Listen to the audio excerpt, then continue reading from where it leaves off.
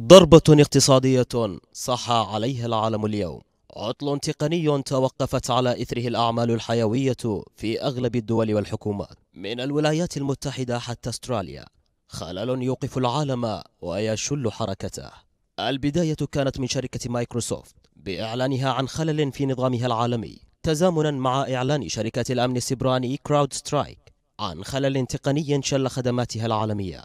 بضع دقائق أخرى أعلنت بعدها الكثير من الدول والحكومات تعطل خدماتها في المطارات والمستشفيات والبنوك وسكك الحديد وأسواق البورصة وتوقف تداول النفط والغاز في بعض الدول.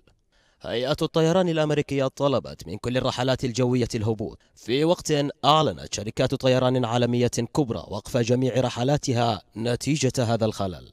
الكارثة لم تتوقف عند المطارات. بريطانيا أعلنت عن توقف العمل في النظام الطبي. تزامنا مع إعلان أكبر شركة مشغلة للسكك الحديد في المملكة المتحدة أنها تواجه مشاكل فنية على نطاق واسع متوقعة إلغاء الرحلات مثل ما أعلنت واشنطن.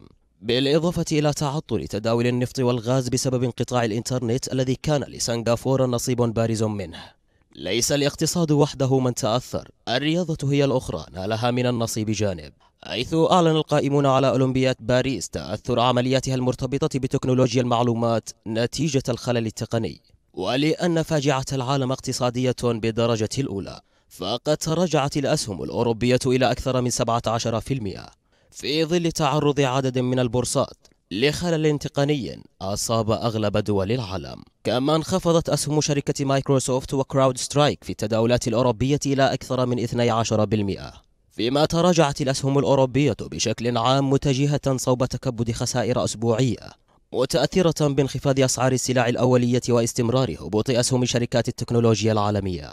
حتى الآن تشير التوقعات إلى عملية أمن سبراني وقرصنة أنتجت هذا الخلل التقني. دون ظهور معلومات مؤكدة. إلا أن خبراء دوليين أكدوا أن استمرار هذا الهجوم أو الخلل التقني دون إنهائه في أسرع وقت سيكبد العالم خسائر تصل إلى تريليونات الدولارات.